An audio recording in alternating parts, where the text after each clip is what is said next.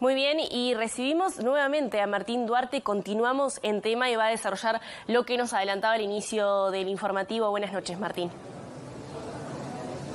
Así es, eh, Julio, vamos a ver la mirada también eh, de la oposición del Frente Amplio a propósito de este comunicado que, como ustedes bien repasaban, primero lo realizó a título personal el canciller Paganini, luego eh, el propio ministerio, reconociendo de alguna forma la recopilación de actas por parte de la oposición en Venezuela y reconociendo el resultado que en este caso favorecería a Edmundo González. Le agradecemos estos minutos al senador Mario Vergara para estar, bueno, haciendo una lectura de estos datos también a propósito de lo que eh, expuso hace algunos días el Centro Carter, que era un centro de referencia y que se estaban esperando también eh, las valoraciones de resultados. Pero en primer lugar le, consulto acerca de este comunicado de Cancillería, de alguna forma, al igual que otros países en, Latinoamérica, reconociendo este, el trabajo de la oposición y estas actas que confirmarían, según manifiesta Cancillería, la presidencia en Venezuela para González.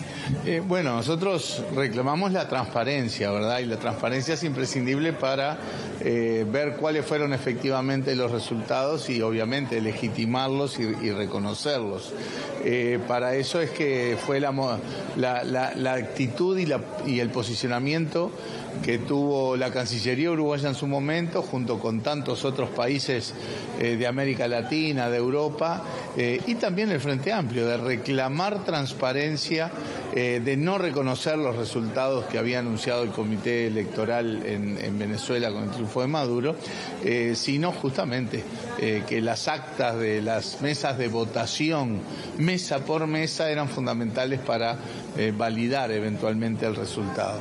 y nosotros seguimos teniendo esa tesitura, que la transparencia es la, es la fundamental. Evidentemente, ante la, la sospecha inicial,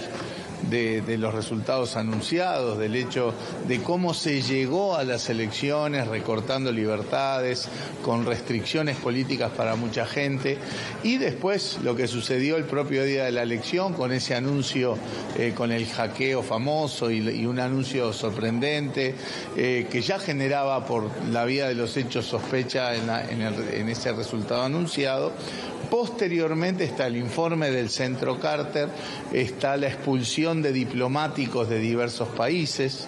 ¿verdad? Está la represión en las calles, todos temas que no son propios de, que más bien que son propios de regímenes autoritarios y que en todo caso contribuyen, abonan la sospecha sobre un fraude en la elección en, Venezuela. ¿Se apresura el gobierno con este comunicado? Quizás un poco sí, porque una cosa es eh, reclamar, hay que esperar el último informe que estaría faltando conocer, que es el de, el de Naciones Unidas, eh, para determinar la, el hecho, la sospecha que todos tenemos, que es de fraude en, en, la elección, ¿verdad? Este, y bueno, para ahí sí después, en todo caso, hablar de quién es el ganador. Pero es, es un matiz entre comillas, ¿verdad? Creo que es un matiz, creo que todos sentimos que la situación es fraudulenta, todos sentimos las irregularidades eh, y que el reclamo fundamental de transparencia para saber quién es el ganador es para que gobierne en Venezuela eh, a quien el pueblo venezolano eligió y que desde la comunidad internacional, lejos de echar combustible a un conflicto político ya demasiado grave,